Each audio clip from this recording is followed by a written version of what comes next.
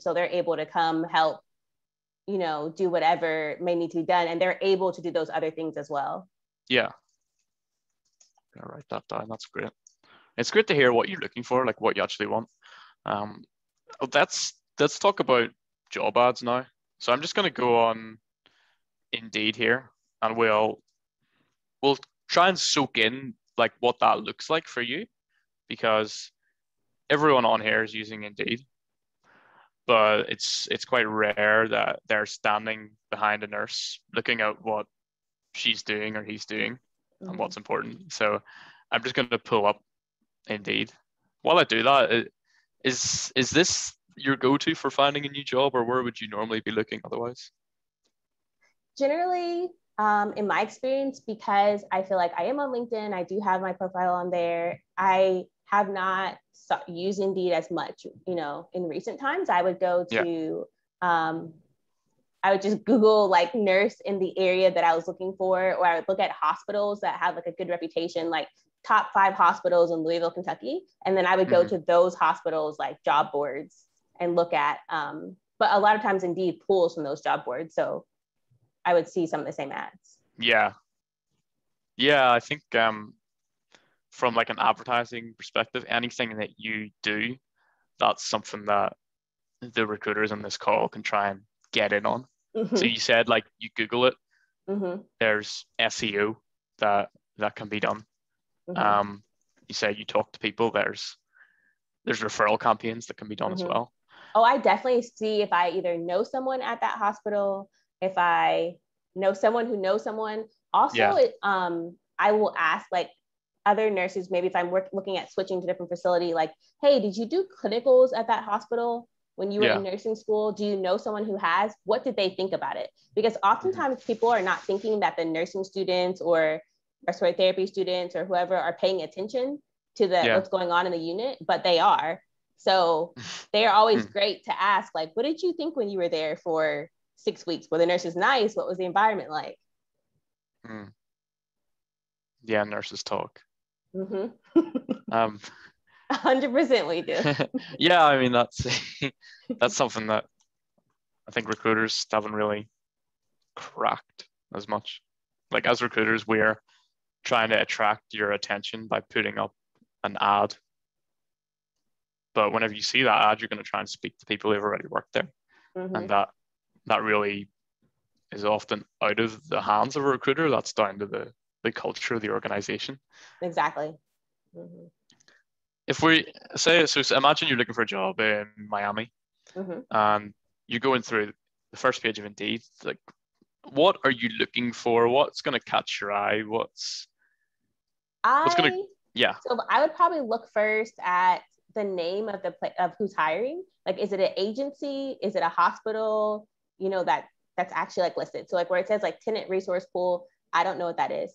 So I probably yeah. would keep scrolling um, okay. until I saw a hospital, like, okay, Mercy Miami Hospital. I'm like, okay, that sounds legit. I would probably like click on that and see like what other things they have. Or Baptist Health, I know that's really big. I would probably click on that.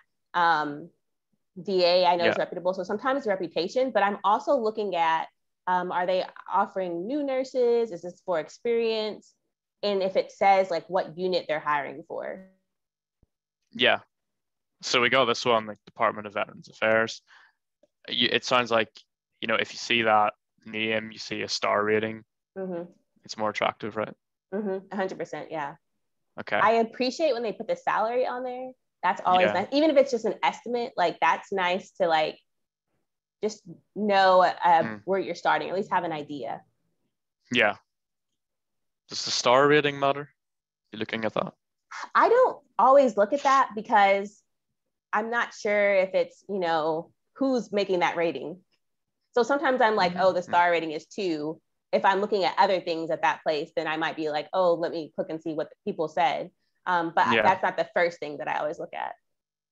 Yeah, I think that's the the rating on Indeed. So that's going to be all the employees, or it might be nurses. I'm, I'm not big on mm-hmm. Indeed. I go to um, Glass Glassdoor yeah uh, to sometimes too to look at like what employees would say i don't know if that's you know advertisers okay. would use that but i look at that too to see like what other people have said about the process. Yeah. Yeah. I hope everyone's taking notes because that's that's something that's very cheap and it's not too difficult to implement that. You don't need to get, you know, sign off or a massive budget to implement. Going out in front of your nurses and saying, "Can you put your opinion of us on Glassdoor?" Mhm. Um, it sounds like it's something that you pay attention to. Yeah, actually, a lot of people, um, even I know some new nurses who are just graduating who were looking for like ICU positions or different roles, they would go on Glassdoor and see if anyone had put anything about that facility before they apply. Yeah. Yeah, it makes sense.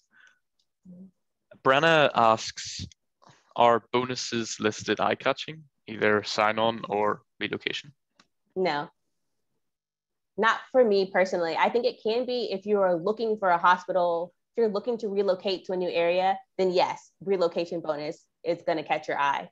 Um, but most nurses, a, a lot of times people will offer you bonuses if they think that you'll be a good fit for their facility. So that's not normally the first thing, especially because a lot of times hospitals who are offering bonuses that are higher than the rest of the market seem a little bit desperate. And so you're like, why do they need to hire, you know, have such a high bonus? Or so Hmm. in general, with nurses I've spoken with as well, most people that's not, they're not looking for that unless they're looking to relocate. Okay. Hmm, that's interesting. Sounds almost counterintuitive. I do look at the new ones too. If it has new on it, I normally look at that first because I feel like um I just saw someone in chat say big bonus means big problems. That's hundred percent what we think. If you're offering a big bonus, your place is probably not somewhere we want to work. I mean, and that may or may not be true, but that's just the general feeling that most nurses get when they see that. Unless they're a brand new grad who's like, I'll go anywhere because I need to pay off student loans. Well, there you go. And Then they go Hmm. do that. Is is that different if they introduce it at the interview stage? hmm Yes, which Okay. that sounds counterintuitive, but it is because I feel like if during the interview they're like, I'm telling you all the things about the company, I'm telling you why we would be a good fit, I'm convincing to you that like our company is a great place for you. Also, we offer bonuses, but then I'm like, oh, okay, they're offering this, but they don't have to post it and put it everywhere, which means that they're not using this as a desperate tactic to reel in anyone. They're offering this because they're looking for good candidates. Yeah. Wow. Okay. So that changes the conversation. Yeah, I'm I'm writing that down. That's good. it's really useful. Because yeah, it just seems like if if you're trying to advertise a job and there's a bonus, people like money, you should put the bonus in. Mhm. But I guess I didn't think of it that way. Um, so we've got some more questions. Uh, Mia says, would you look at a position that was over 30 days old? Mhm. I would look at it, um, but personally, I probably would not apply to it unless I had a contact there or I knew that they were hiring, like it was a position holder, like they were hiring like 10 ER nurses or 10 ICU nurses, and that's why the posting was still there. Because a lot of times I feel like they will have the posting up for a while, but Yeah. they've already hired that person. Okay. That's useful to know because I think, no, like if it says this position is taking you know 10, 10 applicants or we're looking for 10 people then i'd be like oh this is older but it's because they're actively hiring for more than one person Hmm. Okay. Would that would a bit of scarcity play into your mentality? Like if it said there's only three positions available. mm, probably not not unless it was somewhere that i thought was like a really good fit that i was like oh for example like Yeah. if the mayo clinic called and said like or like you know like a really big known like research center was like hey we're only hiring for two nurses because everyone wants to come here you know this is a super Hmm. popular position then i'd be like oh i should Okay, probably yeah. apply because i Yeah. know their reputation is good Yeah. Yeah. Um so what I, what I want to do is just touch upon the the application experience and then we'll have time for some more questions at the end. And um let's see if we can get one here. What let's see, like I in, in our business, so we want to make it as slick as possible. So we let the nurses submit their information and get a phone call requested in 60 seconds. Now I want to know like does a really difficult application process which puts up a lot of barriers put you off as a nurse or is that just an inconvenience that you're willing to get over because you like the job? Yeah it's an inconvenience i'm willing to get over if i like the job. If it's Okay. if it's somewhere where i'm like yeah like maybe this is interesting i'm not sure then mm. yes i will be like why is their application so long? You know but if it's somewhere where i'm like okay they're not asking the same questions over and over and over again they're asking important things then Yeah. yes i would continue i would continue with the application and i might be like oh that was annoying but that's not going to Yeah. make me like not apply there again yeah what if you saw the job on like F- facebook for example Mhm. would you be that's obviously going to be a bit of a lower commitment because you might have just saw it is that something that you're you place in that category where it needs to be fast Um, not necessarily because I feel like people advertise or you know they're like companies have Facebook you know pages, recruiters have Facebook pages and they put things up so often that I I probably wouldn't think it would be like a, a time issue for that. The only time I think like oh we should apply to this fast is when it says something like this like open and closing dates. Then I'm like oh I'm gonna apply right now even if this is gonna take a long application. okay Otherwise, I'll be like, oh, I'll put it on the list. And whenever I'm applying to jobs next time, I'll come back and apply for it. But anytime I see that there's like an open and closing date, then that will be like, oh, I need to do that one first. Hmm. yeah okay that is that's kind of scarcity coming into it then the time Mhm. scarcity Mhm. yeah well, it's all inside us um so interviews then tell us a little bit more about what you're looking for Yeah, I feel like in most interview processes, a lot of times you speak to a recruiter, then you speak to someone in HR, um, and then you know someone else along the way. But I feel like it would be really important to have. Oh, am I breaking it? yeah there you go that's it now Is that better? that's better yeah Sorry. um, I feel like it's really hard in interview processes sometimes because you speak to a recruiter, then you speak to, you know, someone in HR, then you speak to someone on the floor who actually works there, hopefully. So I feel like the questions in those initial interviews um, could be a little bit different to help pick the best nurse for that unit. And not necessarily saying like, you know, how do you hang an IV drip, but just some questions about, you know, what are your long-term goals? Like, are you planning on doing this job so that you can then apply to be a CRNA or go to APRN school or whatever? So just like having actually specific questions geared towards Yeah. that unit and that role is important. Yeah. Okay. From what I've seen recently, we we uh, spoke to someone and they said, to be honest, if they have a pulse and they have the certificate, we'll hire them.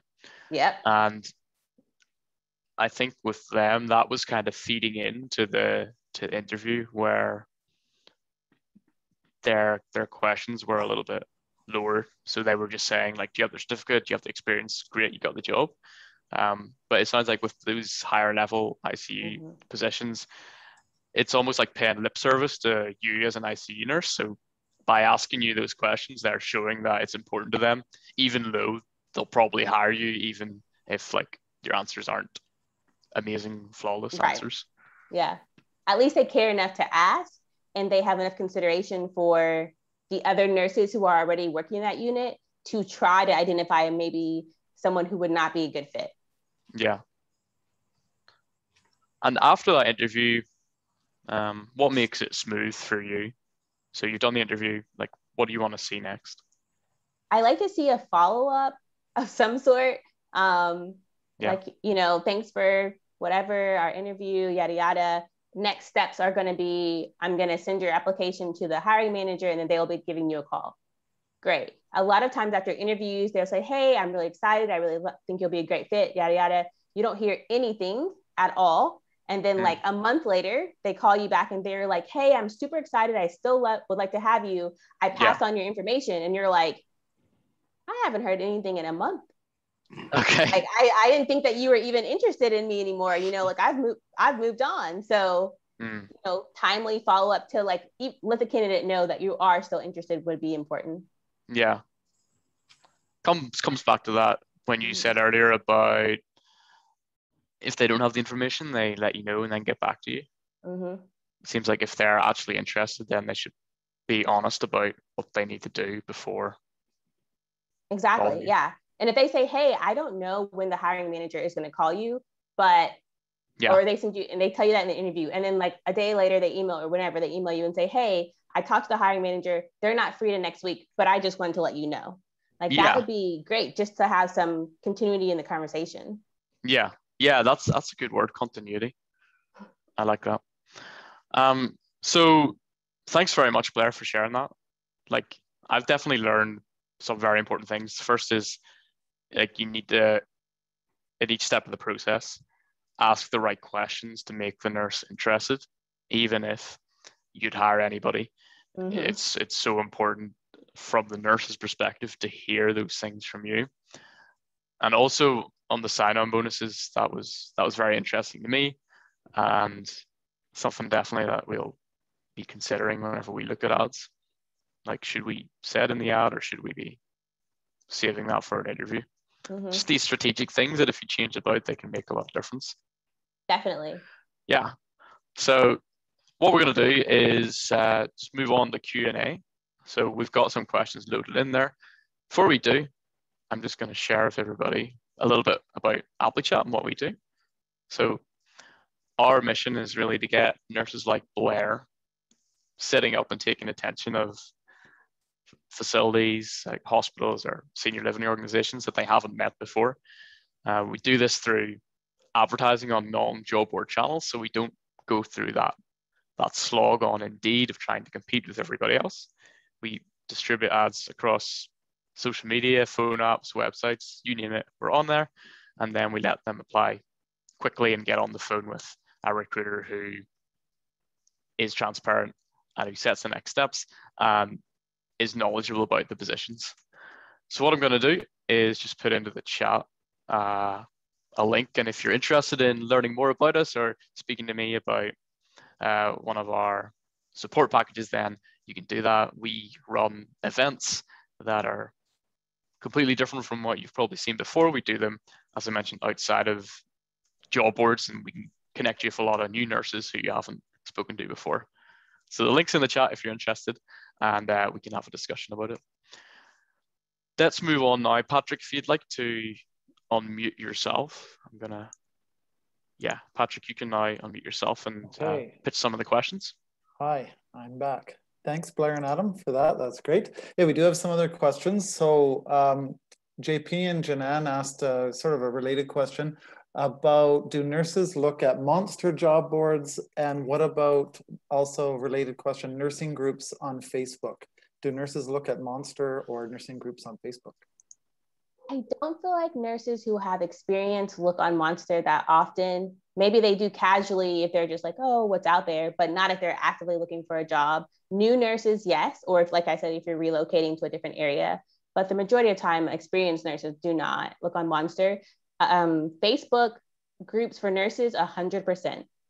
Hmm. People will look at Facebook groups, um, you know, groups for critical care, a lot of the associations, like the Association for Critical Care Nurses, like if they have a Facebook group or a LinkedIn group, they will follow that group um, to see if anyone's posting anything about other critical care jobs. Same Okay, thing for other departments as well. Interesting, you mentioned the associations. One of the other questions was about specialty associations and networking among uh, specialties. Mhm. So that, that's a useful place for recruiting as well? A hundred percent. If I see a job that's been posted through like whichever specialty you're in, that specialty group, or if it's in their Facebook group, or even if someone in their one of the moderators of that group posted on LinkedIn, I would be way more likely to apply to that job than I would if I just saw it in an ad. Okay, Because that definitely lends more credibility to the, the job and to the facility as well. sure. Okay. Uh, Miranda had a question about the job description. How important is the actual job description, like the details, the requirements, the benefits, the perks, and so on, so on? Is it an important factor, or have you already decided you're going to apply based on what catches your eye at the beginning? The job description is so important. And I feel like this is a huge area that could be improved in general. Um, because not only are you trying to make sure that the role is something that the nurse wants, you also want it to be super clear that you are attracting the type of people that you want for that role. So it does need to include an accurate description of what the role actually does. And you want to have emphasis on the specialty. So if you are looking for someone in ICU that has the ability to uh, use a balloon, do balloon pumps or do dialysis or, you know, manage ventilator patients, put that in your ad because that's going to make it more clear to that nurse that this is the type of caliber facility that I want to go to. So people want to see that it's it if it looks professional, then the job and the organization is professional. There's nothing worse than those job ads where there's uh, big mistakes, typos, mm. or weird weird formatting and that kind of thing. It really makes you wonder what you might be walking into, right? Yeah, if there's typos, I literally will not apply. And my friends crack up because we're always like, if they can't take five minutes to spell check, are they going to take five minutes to talk to you if there's a problem in your job? Probably not. Okay, for sure. Um, Mia asks, would you like to shadow on the unit before you took the position?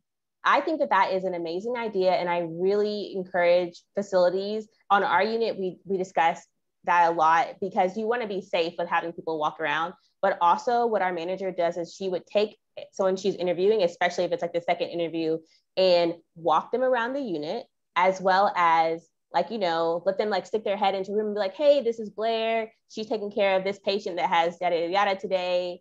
Do you have any questions for her? And that way the person you can the manager whoever's interviewing can watch and be like oh they're asking questions they're engaged you know that's a way for the the hospital to see like this is someone that we want to hire but it's also a great way for the person being interviewed to see you know are the nurses running around and they look like they're like struggling does mm-hmm. it look mm-hmm. like there's people supporting them you know, it gives you a good idea if this is a good role for you. So I think job shadowing, especially in specialty, should be like required. Okay. And maybe sort of somewhat related to that, and you touched on this earlier, is about obviously about uh, word of mouth and, and referrals from other nurses. But what about more formal nurse ambassador programs or ways to really connect existing staff with potential candidates? I think that that's really important first, I think it's important if you are making it a great place for your employees to work, then they will tell their friends, hey, so and so, I want you to come work with me here. Or if your boss says, do you know anyone who has X skill set? And you're like, I do, but she works at hospital over here. I don't know if she'd want to come over to this hospital. But even just giving them that person's name or other people that you can think of who have a certain skill set is a great way to recruit other nurses. Um, and also thinking about like what's making your organization more unique. For example, are you a hospital? If you're looking for a heart nurse, an open heart recovery nurse, do you do heart transplants? Do you do ECMO? Are you doing things that are going to attract that? If you are, make it obvious what your unique stand is. Okay, great. Uh, Miranda asked a question that I think is really interesting. Uh, what is your preferred method of contact? Phone, email, or text? This will be interesting to every recruiter, I think. If you text me, I will reply. Okay. If you email me, sometimes I will reply. Okay. If you call me out of the blue, I probably will not answer. Mm-hmm. For sure. Lots of people don't answer the phone, and lots of nurses say they won't check their voicemail either, right? So I will not check my voicemail. I will also right. not check my voicemail. Yeah. Mm-hmm. So Alexis asks a related question. Do you get a lot of email solicitations? And then how do you decide which ones to open or even respond to? Um, I get quite a few. I get a lot of emails. I get a lot of like messages on LinkedIn. If it's a generic message, I don't open it. If it says you're going to get more after today, so people are fine tuning the messages to you right now. if I get a message that says, Blaire, we saw your experience in childcare, which is somewhere down in my LinkedIn from like being a nanny somewhere, and we think you'd be a great fit for this hospital. I'm like, delete like i'm going to need you to i know it's important to send out messages to a lot of people to try to get responses but if you take someone sent me a message the other day that was like hi blaire i see that while working at x hospital in this role you did that for two years i'm going to open that because at least you looked at my profile even if it doesn't it doesn't matter what your tag was but at least you like looked at it and it wasn't just spam is what i feel like it is sometimes yeah for sure email can be challenging I think we have one more question. So I just want to remind people if you do have other thoughts, pop them in right now. Feel free. We've got a few more minutes left that we can fit them in.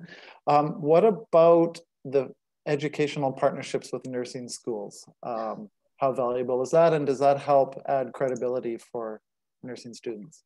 Yes, that is so important. Which this kind of goes back a little bit to what we were talking about, like compensation and like bonuses.